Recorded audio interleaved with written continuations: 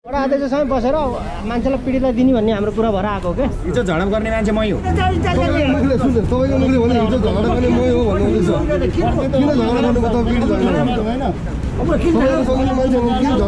तपाईँको झगडा गर्नुभयो भने चाहिँ तपाईँसँग माग्ने हो हामी हिजो झगडा गर्ने मै हो भन्नुहुँदैछ अनि फेरि तपाईँले नै गर्नुहोस् न म थाहा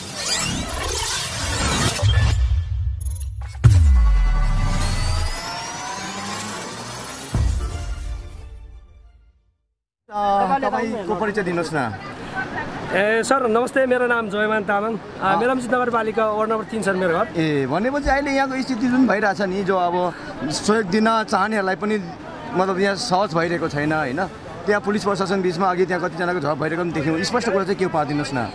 स्पष्ट कुरो सर दैविक प्रकोपको रूपमा जब मेलम्चीमा समस्या आयो यो दैविक रूपमा आएको कसै व्यक्ति र पार्टी र यहाँको समाजले चाहेर होइन। तर समस्या चाहिँ के भइदियो भन्दा म्या म्यानेजमेन्टमा चाहिँ अहिले आएर हिजो बेलुकादेखि अलिकति समस्या पाएको कुरो मैले जानकारी पाएँ। योभन्दा अगाडि चाहिँ यहाँको स्थानीय यहाँको प्रदेशमा र प्रतिनिधि सभामा निर्वाचित जन जनप्रतिनिधि र यहाँको वडा अध्यक्ष लगायतका यहाँका बुद्धिजीवी र समाजसेवी र यहाँका मेयर उपमेयर लगायत सबैजना लागि परेको थियो। र जति आएको बाहिरबाट आएको राहतहरू चाहिँ आ- आफ्नो हिसाबले हिजो जो मान्छे पीडित भनेर बाँड्न थाल्यो त्यो लास्टमा विपरीत हिसाबमा जो एउटा परिणत हुन गयो। त्यस पछाडि यहाँको संयन्त्रणा एउटा टिम बनाएर सबै सामानहरू राखेर चाहिँ बाँड्नुपर्छ भन्ने एउटा संयन्त्रणा बनाउनु भएको छ। त्यो बनाइसके पछाडि त्यो जुन बेलुका बत्ती बालेर के राहत बाँड्यो भनेर चाहिँ यहीँको स्थानीय यहाँको पीडित पक्षहरूले उजुर गरिसके पछाडि चाहिँ यो समस्या आएको तर राहत ल्याउने पक्षलाई खबरदारी र राहत ल्याउने पक्षलाई दाबी गरेको चाहिँ होइन सर। र यहीँको यही नगर अन्तर्गत यहाँ पीडित र यहाँका बुद्धिजीवी सर्कलरहरूले चाहिँ त्यसलाई म्यानेजमेन्ट गर्न नसकेको कारणले यो समस्या आएको हो। तर पीडित जुन एउटा राहत ल्याउने पक्षलाई अवरोध र खबरदार गरेको चाहिँ होइन सर। जस्तो राहत ल्याउनेहरूले भन्नुहुन्छ होइन? हामीले त्यहाँ देख्यौँ। सम्बन्धित पीडित व्यक्तिहरूलाई हामी आफ्नै हातबाट दिन्छौँ भन्ने कुरा पायौँ होइन। तर त्यहाँ पुलिस प्रशासनले रोकिरहेको थियो। र त्यहाँ कति अब अब यो मतलब त्यहाँ जनताको पनि आवाज उठिरहेको थियो होइन। बरु फर्किनुहोस् यहाँ नबाड्नुहोस् भन्ने कुरा पनि आइरहेको थियो। खास किन यो भनेर आइरहेको यो छ आवश्यकता चाहिँ जब जो एउटा पीडितमा पनि नाटकहरू बढ्न थालेको छ जो कि एकपल्ट लिए पछाडि लिएको छैन भनेर फेरि थप्न खोजिरहेको अवस्था। र अब नातापात र कृपावाद कुरोहरू कतिपय मान्छेहरू बोलाएर जस्तो उनीहरूले थपेर सामान बाहिर पठाउने खालको वातावरण बनेपछि त्यहाँ एक्लै अर्कालाई चिन्छन् बजारको सबैले को कहाँको त सबै चिनेका छन् नि। त्यस भएको कारणले विवाद निस्क्यो। विवाद निस्किए पछाडि के त भन्दामा त्यहाँ हिजो बेलुका अब हाम्रै देशको राष्ट्र के प्रधानमन्त्री केपी ओली शर्माको फोटोसहित आएर गाडीमा सामान ल्याएर बाँड्न थालिएको छ। अनि यो देशको मालिक को त? यो देशको समक्षको त?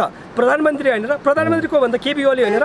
हो उहाँले नै यो दुर्व्यय गरेको भएको कारणले हिजो सर्वपक्ष अरू पक्ष सबैले विरोध गरेर ती पक्षलाई अ, लखेड्ने क्रममा अलिकति धडपकड अलिकति झडप हुन लागेको अवस्था भएपछि प्रशासनले टाइट गर्न प्रशासनले हेर्न बाध्य भएको भएको। गर्दाखेरि आज आवश्यक व्यक्ति र यहाँको संयन्त्रले वेलकम गरेको व्यक्तिलाई भित्र छिराउने र त्यहाँको आवश्यकता अनुसार त्यहाँको नीति नियमअनुसार वितरण गर्नको लागि मात्र सम्भव भयो भने सामान पठाउने होइन भने नपठाउने भन्ने हिसाबले उहाँहरूले चाहिँ छेक्नु भएको वास्तविक राहत टोलीले फर्काउने इच्छाले चाहिँ होइन।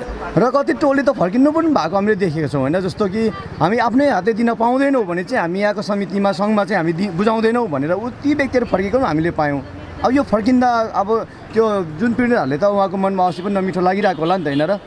यो समस्या यहाँको र यहाँको जिम्मेवारी व्यक्तिहरूको किनकि उहाँहरूले यो तत्काल समस्यालाई म्यानेजमेन्ट गर्नको लागि तीव्र गति अगाडि बढाइहाल्नु पर्थ्यो प्रशासन लिएर सशस्त्र लिएर को को राज्यको कुन अङ्कको आवश्यकता थियो गर्नु पर्थ्यो यहाँ चाहिँ म यहाँका जिम्मेवारी प्रतिनिधिज्यूहरू र यहाँका जनप्रतिनिधिज्यूहरूप्रति म यो यो विषयमा चाहिँ खबरदार गर्न चाहन्छु।